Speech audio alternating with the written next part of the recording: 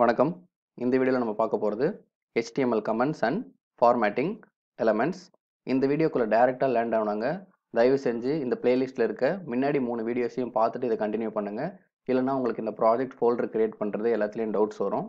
இப்போ நம்ம வீடியோக்குள்ளே போகலாம். கமெண்ட்ஸோட சின்டாக்ஸ் ஃபஸ்ட்டு நம்ம தெரிஞ்சுக்கலாம். ஒரு HTML கமெண்ட்ஸோட syntax angle bracket exclamatory mark double dash உங்களோட கமெண்ட் அண்ட் தென் திருப்பியும் ரெண்டு டேஷ் க்ளோசிங் டேக் இதுதான் ஹெச்டிஎம்எல் கமெண்ட்ஸோட சின்டாக்ஸ் ஹெச்டிஎம்எல் கமெண்ட்ஸ்னால் என்னன்றது பெரும்பாலுமான இன்டர்வியூ கொஸ்டினாக இருக்கும். ஹெச்டிஎம்எல் கமெண்ட்ஸ்னால் என்னன்னு உங்களை கேட்பாங்க. இப்போ உங்களோட கோடில் ஒரு லைன் இப்போ உங்களுக்கு அவுட்புட்டில் டிஸ்ப்ளே ஆக வேணாம் அப்படின்னு நீங்கள் நினச்சிங்கன்னா நீங்கள் ஹெச்டிஎம்எல் கமெண்ட்ஸ் யூஸ் பண்ணலாம். உதாரணத்துக்கு இந்த ஃபர்ஸ்ட் லைன் பாருங்கள் இப்போ டெக் தமிழன் ஹெச் ஒன் டேக்கில் நான் யூஸ் பண்ணியிருக்கேன் இப்போ அவுட்புட் ஸ்க்ரீனை ஒரு தடவை செக் பண்ணிக்கலாம். இப்போ அவுட்புட் ஸ்க்ரீனில் ரன் பண்ணுறோம் டெக் தமிழ்ன்றது உங்களுக்கு எங்கள் அவுட்புட்டில் டிஸ்ப்ளே ஆகுது. சப்போஸ் இப்போ வந்து உங்களுக்கு இந்த லைன் வந்து இப்போ தற்காலிகமாக தேவையில்லை. ஆனால் பின்னாடி உங்களுக்கு யூஸ் ஆகலாம்னு நீங்கள் நினச்சிங்கன்னா அப்போ அதை நீங்கள் டெலீட் பண்ணக்கூடாது. நீங்கள் அதை கமெண்ட் பண்ணி வச்சுக்கலாம். நான் ஆல்ரெடி சொன்ன மாதிரி எக்ஸ்க்ளமேட்டரி மார்க் டபுள் டேஷ் ஒரு கேப்பு பின்னாடி அந்த டேக் முடிஞ்ச பிறகு மறுபடியும் ஒரு டபுள் டேஷ் அண்ட் தென் அந்த க்ளோசிங் ஆங்கிள் ப்ராக்கெட் இப்போ உங்களோட ஃபைலில் கமெண்ட்டை நீங்கள் இன்க்ளூட் பண்ணியிருக்கீங்க ஃபைலை சேவ் பண்ணுங்கள் சேவ் ஆகிடுச்சு இப்போ உங்கள் அவுட்புட் ஸ்க்ரீனை ரெஃப்ரெஷ் பண்ணி பார்த்தீங்கன்னா உங்களுக்கு டெக் தமிழ்ன்ற டேகு ஹைட் ஆகிருக்கும் ஆனால் உங்களுக்கு கோடில் இருக்குது ஆனால் உங்களோட அவுட்புட் ஸ்க்ரீனில் தெரியல. ஆக கமெண்ட்டோட யூஸ் என்ன? உங்களுக்கு இப்போ தேவையில்லாத ஏதாவது ஒரு பாட்டாக இருந்தால் நீங்கள் ஹெச்டிஎம்எல்ல கமெண்ட் யூஸ் பண்ணி நீங்கள் அதை ஹைட் பண்ணிக்கலாம். பின்னாடி உங்களுக்கு அதே பாட் தேவைப்படுது அப்படின்ற பட்சத்தில் நீங்கள் உங்களோட கமெண்ட்ஸை நீங்கள் ரிமூவ் பண்ணி சேவ் பண்ணிங்கன்னா உங்களுக்கு அது எப்பவுமே திருப்பியும் வந்துடும் ஸோ நார்மலாக ஒரு பெரிய வெப்சைட் பண்ணும்போது திடீர்னு உங்களோட கிளைண்ட் வந்து ஒரு பார்ட் வந்து இப்போ தேவையில்லைன்னு சொல்லிடுவாங்க இப்போ ஒரு கிளைண்ட் டெஸ்டிமோனியலோ இல்லை ப்ராஜெக்ட் ஏரியாவோ ஏதோ ஒன்று இருக்குன்னா தேவையில்லைன்னு சொல்லிடுறாங்க. ஆனால் வந்து அந்த பாட்டோட டிசைன் உங்களுக்கு ரொம்ப பிடிச்சிருக்கு. கிளைண்ட் திருப்பி கேட்பாருன்னு உங்களுக்கு தெரியும். ஸோ அந்த நேரத்தில் நீங்கள் வந்து அந்த கம்ப்ளீட் ஏரியாவையுமே கமெண்ட் டேக் போட்டு வச்சிட்டிங்கன்னா அப்போதைக்கு உங்களுக்கு அவுட்புட் ஸ்க்ரீனில் அது தெரியாது. பின்னாடி உங்களுக்கு தேவைன்னா நீங்கள் உங்களோட கமெண்ட் ஸ்க்ரீனை நீங்கள் ரிமூவ் பண்ணிக்கலாம். இது கமெண்ட்டோட ஒன் ஆஃப் தி யூஸ் இப்போ கமெண்ட்டோட இன்னொரு யூஸ் பார்க்கலாம். இப்போ ஒரு டெவலப்பர் பர்ஸ்பெக்டிவில் சொல்கிறேன் இப்போ நான் ஒரு ப்ராஜெக்ட் எப்பயுமே ஒரு டெவலப்பர் பண்ண மாட்டாங்க. ஒரு ரெண்டு பேர் கை மாதிரி போகுதுன்னு வைங்க. நான் இப்போ இந்த கோடை டெவலப் பண்ணுறேன் இப்போ இந்த கோடே உங்களுக்கும் வந்துட்டு டிஸ்கிரிப்ஷன் செக்ஷனில் இருக்கும். நீங்கள் ப்ராக்டிஸ் பண்ணுறதுக்கு நீங்கள் டவுன்லோட் பண்ணி பார்க்குறீங்கன்னா ரொம்ப கொச்ச கொச்சன்னு இருக்கும். யாருக்குமே கிளாரிட்டியாக இது என்ன கிரியேட் பண்ணியிருக்காங்க இதில் என்ன கிரியேட் பண்ணியிருக்காங்கன்னு புரியாது. ஸோ ஒரு டெவலப்பருக்கு நோட்ஸ் கொடுக்கறதுக்காகவும் நீங்கள் கமெண்ட்ஸை யூஸ் பண்ணலாம். இப்போ நம்ம இந்த வீடியோட ஃபர்ஸ்ட் டுட்டோரியலில் இது ஹெட்டிங் டேக்ஸ்க்காக பார்த்தோம். இப்போ இந்த இடத்துல நீங்கள் கமெண்ட்டை இன்க்ளூட் பண்ணலாம். HTML heading tags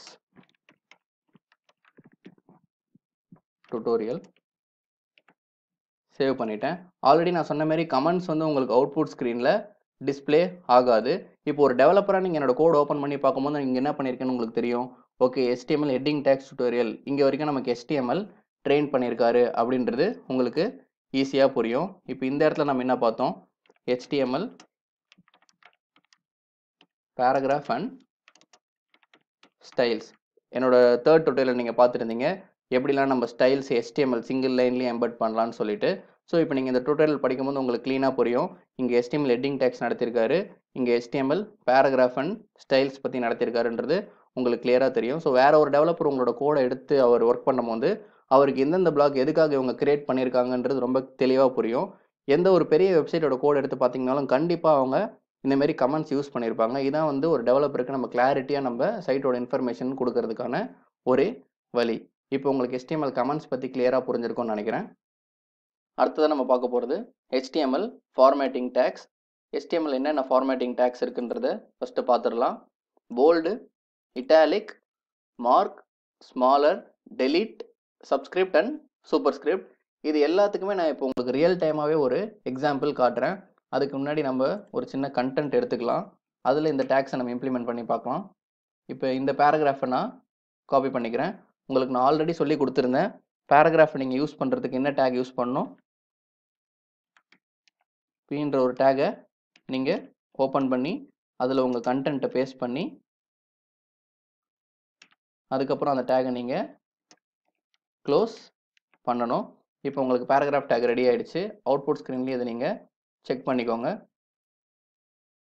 ஸோ இப்போ உங்களுக்கு இங்கே அவுட்புட் டிஸ்ப்ளே ஆகுது. இப்போ இதை தான் நம்ம ஃபார்மேட்டிங் டேக் யூஸ் பண்ணி கொஞ்சம் ஸ்டைல் ஆக்க போகிறோம் இப்போ நான் ஃப்ரீலான்சிங் பண்ணுறேன் இந்த விஷயத்தை எனக்கு வந்து கொஞ்சம் போல்டாக காட்டணும்னு நீங்கள் நினச்சிங்கன்னா இது நீங்கள் போல்ட் யூஸ் பண்ணலாம். போல்டுக்கான ஃபார்மேட்டிங் திங்ஸ் சின்டாக்ஸ் வந்து பி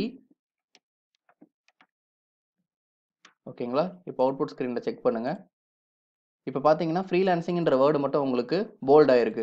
இப்போ பார்த்துட்டு இருக்க பிகினர்ஸ் நிறைய பேருக்கு ஒரு கேள்வி வரும். நீங்கள் ஆரம்பத்தில் வந்து ஒரு டேகுக்குள்ளே ஒரு டேக் யூஸ் பண்ணக்கூடாதுன்னு சொல்லியிருந்தீங்களேன்ட்டு.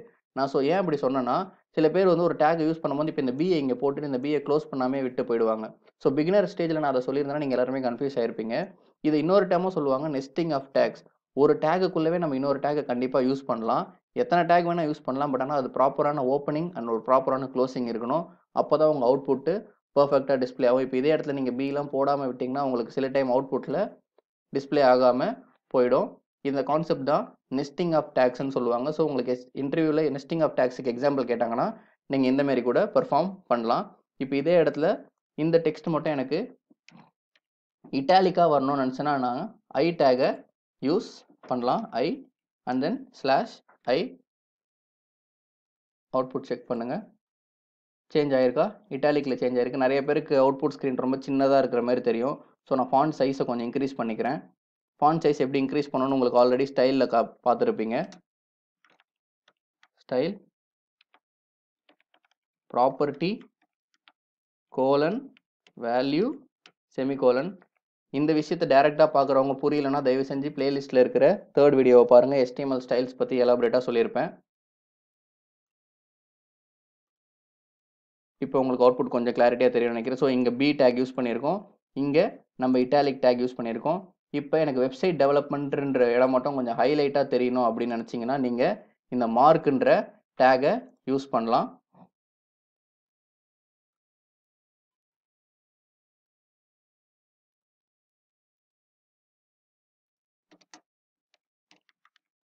மார்க் ஸ்லாஷ் மார்க்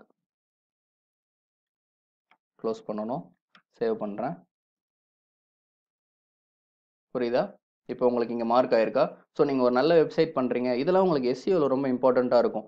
உங்களுக்கு உங்கள் வெப்சைட்டை பார்க்குற யூசர் வந்து நீங்கள் என்ன சர்வீஸ் பண்ணுறீங்கன்றது அவங்களுக்கு பர்ஃபெக்டாக தெரியணும் அப்படின்னு நீங்கள் நினச்சிங்கன்னா இந்தமாரி நீங்கள் ஃபார்மேட்டிங் டேக்ஸை ரொம்ப சூப்பராக யூஸ் பண்ணி உங்களோட கண்டென்ட்டை இன்னும் அழகு பற்றி நீங்கள் காட்டலாம். இப்போ நம்ம இந்த டெக்ஸ்ட்டை போல்ட் பண்ணியிருக்கோம் இட்டாலிக் பண்ணியிருக்கோம். இந்தமாரி இம்பார்ட்டன்ட் கீவேர்ட்ஸ் கீவேர்ட்ஸ்னு சொல்லுவாங்க. இதை பற்றி நான் உங்களுக்கு எஸ்ஏ டியூட்டரில் இன்டெப்த்தாக சொல்கிறேன் இந்தமாரி உங்கள் வெப்சைட்டில் இருக்க கீவேர்ட்ஸ்லாம் கொஞ்சம் நீங்கள் இன்னும் கொஞ்சம் போல்டாக காட்டணும் இன்னும் யூசருக்கு அட்ராக்டிவாக காட்டணும்னு நினச்சிங்கன்னா நீங்கள் மார்க் டேக் யூஸ் பண்ணி காட்டலாம். அடுத்த டேக் டெல் டெல் டேகுக்கு ஒரு சிம்பிள் எக்ஸாம்பிள் நான் கீழேயே உங்களுக்கு டைப் பண்ணி காட்டுறேன்.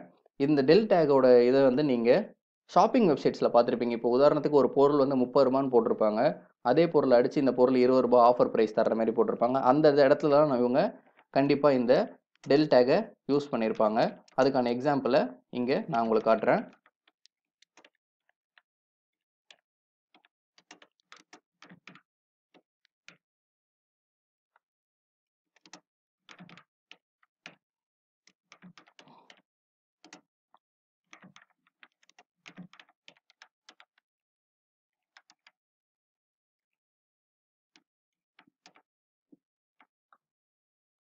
ஸோ இதுக்கும் நான் அந்த ஸ்டைல் அட்ரிபியூட்டை அப்படியே காப்பி பண்ணிக்கிறேன். ஃபைல் சேவ் பண்ணிக்கலாம். இப்போ இதில் பார்த்தீங்கன்னா இந்த முப்பது ரூபான்ற வேர்டை அழிச்சிட்டு இருபது ரூபா ஒன்லின்றதை நான் காட்டணும் அப்படின்னா இந்த தேர்ட்டி ருபீஸ்க்கு நீங்கள் டெல் டேக் யூஸ் பண்ணலாம். டெல் தேர்ட்டி ருபீஸ் முடிகிற இடத்துல ஸ்லாஷ் டெல் இப்போ உங்கள் ஃபைலை நீங்கள் சேவ் பண்ணலாம். ரன் பண்ணி பாருங்கள் இங்கே பார்த்தீங்களா my product is thirty rupees அடிச்சு twenty rupees only offer price இப்போ நீங்கள் நிறைய ஷாப்பிங் வெப்சைட்ஸில் பார்த்துருப்பீங்க. ஒரு ப்ரைஸை ஸ்ட்ரைக் பண்ணி காட்டிட்டு அதோட ஆக்சுவல் ப்ரைஸை காட்டுவாங்க. இந்த மெத்தடுக்கு நீங்கள் டெல் டேக் யூஸ் பண்ணலாம். கிளியரா இப்போ ஃபார்மேட்டிங்கில் last subscript and super script இது ரெண்டுத்தையும் ஒரே எக்ஸாம்பிளில் பார்க்கலாம்.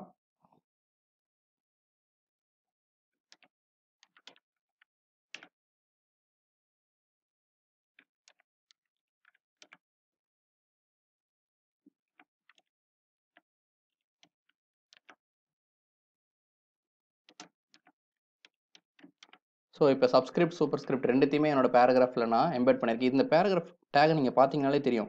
எவ்வளோ டேக்ஸை நான் நெஸ்ட் பண்ணியிருக்கேன்னு பாருங்கள் ஸோ நெஸ்டிங் ஆஃப் டேக்ஸ் கண்டிப்பாக நீங்கள் பண்ணலாம். அது எலிஜிபிள் மெத்தட் தான்.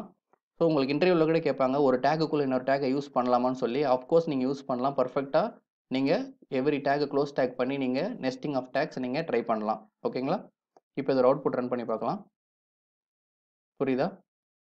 இப்போ சப்புன்னு கொடுத்தது வந்து நார்மல் டெக்ஸ்ட்டோட கீழே போயிடும். சூப்பர் ஸ்கிரிப்ட்னு கொடுத்தது நார்மல் டெக்ஸ்ட்டுக்கு மேலே போயிடும். கிளியரா ஸோ சப்ஸ்கிரிப்ட்னா கீழே வர்றது சூப்பர்னா மேலே போகிறது இதெல்லாம் நீங்கள் பவர்ஸ் மேத்தமேட்டிக்கல் வெப்சைட்டு ஆன்சர்ஸ் எதாவது பண்ணுறீங்கன்னா two to the power of three இந்த மாதிரிலாம் ஏதாவது ஒரு- ஒரு டேர்ம்ஸ் யூஸ் பண்ணுற மாதிரி இருந்தால் அவங்க நீங்கள் சப்ஸ்கிரிப்ட் அண்ட் சூப்பர் ஸ்கிரிப்ட் நீங்கள் ப்ராக்டிஸ் பண்ணிக்கலாம் கிளியரா ஓகே இதில் ஒரே ஒரு டேக் மிஸ் பண்ணிட்டேன். ஸ்மால்ன்ற டேக் ஸ்மால்ன்ற டேக் ஒன்றுமே இல்லை. நார்மல் பேராகிராஃப் எலமெண்ட்டில் வர்ற சைஸை விட ஸ்மால் டேக் கொஞ்சம் சின்னதாக தெரியும்.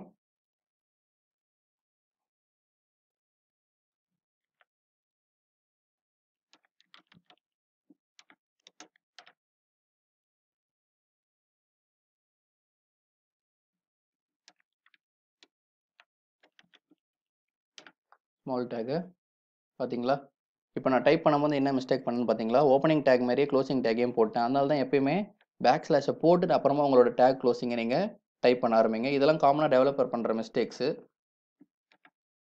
ஸ்லாஷ் பி அவுட்புட்டை சேவ் பண்ணுறோம் அண்ட் தென் ரன் பண்ணுறோம் தெரியுதுங்களா? ஸ்மாலில் யூஸ் பண்ண பேராகிராஃப்குள்ளே இருக்கிற டெக்ஸ்ட்டு நார்மல் பேராகிராஃப் அவுட்புட்டோட கொஞ்சம் சின்னதாக உங்களுக்கு டிஸ்ப்ளே ஆகும். இந்த வீடியோவில் நீங்கள் எஸ்டிஎம்எல் இருக்கிற எல்லா ஃபார்மேட்டிங் அண்ட் தென் கமெண்ட்ஸை பற்றி எலாபரேட்டாக பார்த்துருப்பீங்க. அடுத்த டுட்டோரியலில் சந்திக்கலாம். நன்றி. வணக்கம்.